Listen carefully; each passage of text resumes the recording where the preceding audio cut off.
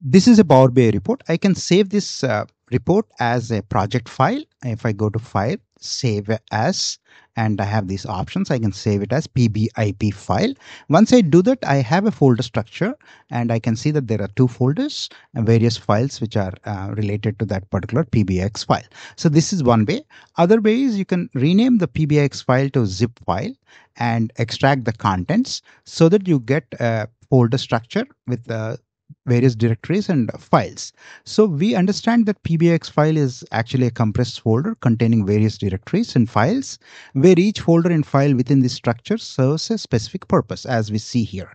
Next, uh, we will look at a Python package and uh, try to understand uh, what is a PBIX file and look through the contents and the structure.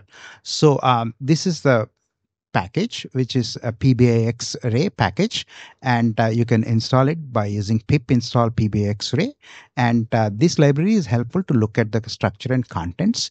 Um, and we will try to use a Jupyter uh, notebook file and uh, we will uh, look at all these uh, steps one by one.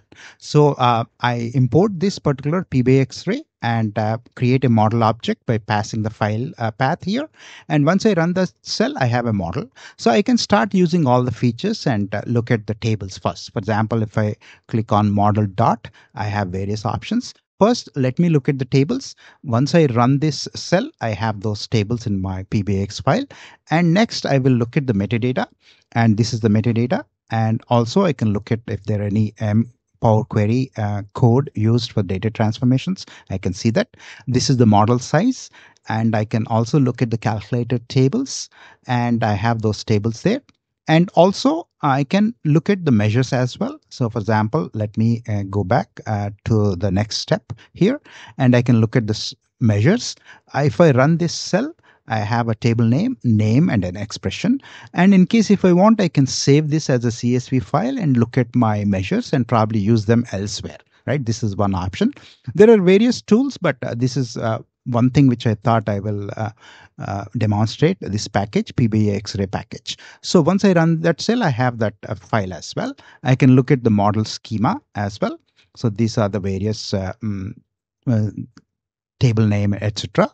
And I can look at the relationships and also I can get the table contents. I can pick a particular table. For example, I will pick this population table. If I run that, I have my table contents as well. So I can look at the statistics and I can look at the DAX columns as well. So this is pretty uh, cool way of looking into a PBIX file and try to understand the structure and contents.